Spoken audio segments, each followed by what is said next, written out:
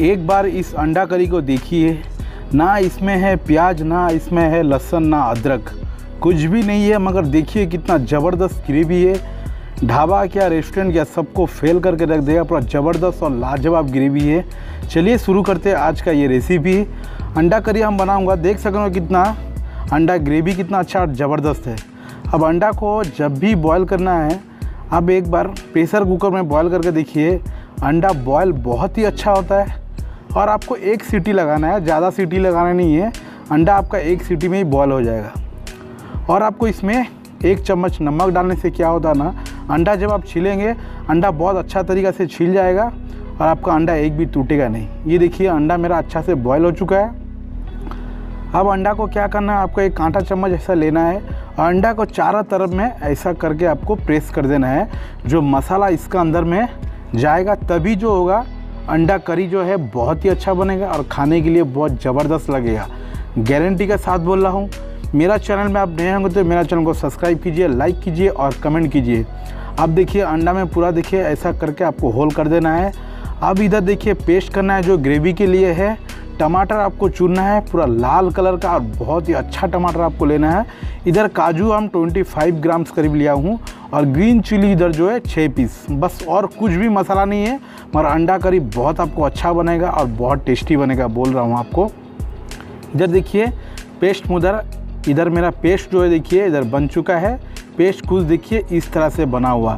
इसमें है green chilli, काजू और टमाटर। अब एक कढ़ाई में एक कप करीब ऑयल लेंगे। अभी अंडा को फ्राई करना है। और आपका जो तेल है अच्छा तरीक़ा से गर्म होना चाहिए, तभी जो अंडा अच्छा फ्राई होगा। अब देखिए, तेल मेरा गर्म हो चुका है। अब इसमें थोड़ा सा हल्दी डाल देंगे और थोड़ा सा आपका चिली पाउडर डालने से क्या होगा? अंडा जब आपका फ्राई होगा, थोड़ा कलर भी अच्छा आएगा और देखने के लिए बहुत ही अच्छा लगेगा। इसके लिए जब भी आप अंडा फ्राई करें, इसमें थोड़ा हल्दी और चिली पाउडर ज़रूर ऐड करें। अब देखिए मेरा अंडा इधर फ्राई हो चुका है। अब इसको ज़्यादा फ्राई नहीं करना। ज़्यादा फ्राई करने से क्या होता है ना, ऊपर का जो आपका स्किन होता है अंडा का, बहुत ही हार्ड हो जाता। खाने में आपको अच्छा नहीं लगेगा। इसके लिए आपको हल्का फ्राई करना है। थोड़ा सॉफ्ट रहना चाहिए। जब अंडा खाए तो अंडा जैसा लगना ही चाहिए। अब देखिए मेरा अंडा इधर फ्राई हो चुका है। बहुत ही बढ़िया फ्राई हुआ। अब आप आपको ग्रेवी बना के दिखाऊँगा। किस तरह से आपको ग्रेवी बनाना है, वो हमको दिखाऊँगा आपको। ये देखिए, वही सेम ऑयल में थोड़ा सा दालचीनी है ग्रीन इलायची है और ब्लैक इलायची है और थोड़ा सा लवंग है।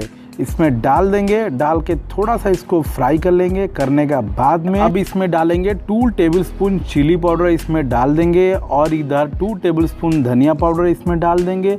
अब इसको थोड़ा सा फ्राई कर लेना है आपको। फ्राई करने से आपका क्या होगा? आपको जो मसाला, उसमें कलर बहुत ही बढ़िया आएगा और इसको ओवर फ्राई ना करें।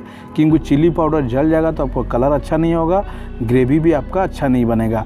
अब देखिए, जो पेस्ट क्या हुआ टमाटर को इसमें डाल देंगे। अब इसको गैस का फ्लेम थोड़ा स्लो कर दीजिए, क्योंकि ये बहुत ऊपर आएगा।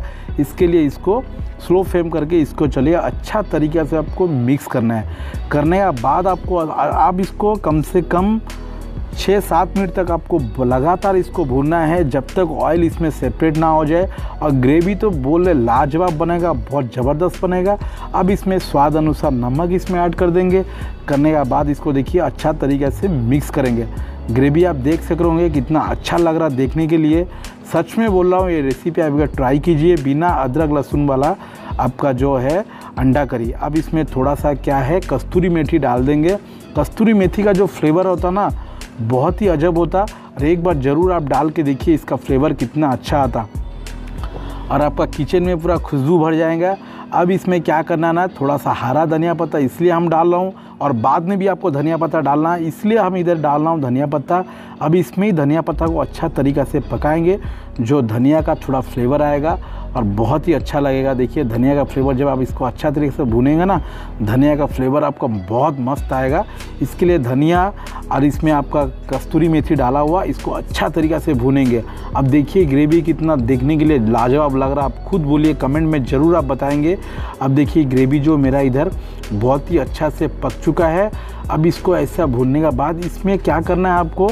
एक कप करीब पानी डालेंगे। देखिए, ग्रेवी दानेदार इधर मेरा हो चुका है। देखिए, बहुत ही बढ़िया पका हुआ ग्रेवी आप देख सक रहे होंगे। अब इसमें पानी ऐड करेंगे। वन एंड हाफ़ कप करीब पानी आपको ऐड करना है। ग्रेवी जिस हिसाब से चाहिए, वही हिसाब से आपको पानी ऐड करना है। पानी ऐड करने का पहले से आपको एक चीज़ ध्यान रखना, अंडा डाल के इसको अच्छा तरीक़ा से भून लेंगे। उसका बाद में ही आपको पानी डालना है, क्योंकि पानी अभी पहला मत डालिए, पहला अंडा डाल देंगे। अंडा डालने के बाद इसको क्या करना है ना अच्छा तरीक़ा से पकाएँगे थोड़ा, भूनने से क्या होगा, थोड़ा अंडा का अंदर भी थोड़ा मसाला जाएगा और अंडा भी थोड़ा अच्छा से भून जाना चाहिए मसाला का साथ में। ये देख सक रहे होंगे मसाला कैसा लग रहा है और अंडा जो बना हुआ आपको कैसा लग रहा है ज़रूर आप कमेंट करके बताएँगे। अब इसको अच्छा तरीक़े से इसे भून जाएगा। अब इसमें क्या करना है, थोड़ा सा इसमें चिकन मसाला हम इसमें ऐड करूँगा। इसमें मसाला भी डाल के थोड़ा सा अच्छा तरीक़ा से भून लेंगे। भूनेंगे तो क्या होगा ना? चिकन मसाला का जो फ्लेवर बहुत ही बढ़िया आएगा और अंडा करी तो बहुत मस्त लगेगा। गारंटी का साथ हम बोल रहा हूँ, ये देखिए पूरा रेडी है। अब इसमें ऐड करेंगे पानी। पानी ज़्यादा नहीं ऐड करेंगे। वन एंड हाफ़ कप करीब पानी इसमें ऐड करेंगे और थोड़ा अच्छा तरीका इसको पका लेंगे। पकाने के बाद में जो है आपको चिकन अंडा करी पूरा रेडी हो जाएगा। अभी देखिए उसको अच्छा तरीका से कम से कम एक दो मिनट तक उबाल लेंगे। जैसे उबाल आ जाएगा उसका बाद इसमें क्या करना है ना, आपको थोड़ा धनिया पत्ता इसमें ऐड करेंगे। आप देखिए, जो अंडा करी है, कितना ज़बरदस्त लग रहा देखने के लिए, आप खुद देख सक रहे होंगे।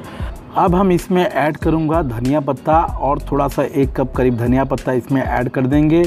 ऐड करने के बाद इसको अच्छा तरीक़ा से भून लेंगे और इसको मिक्स कर लेंगे आप।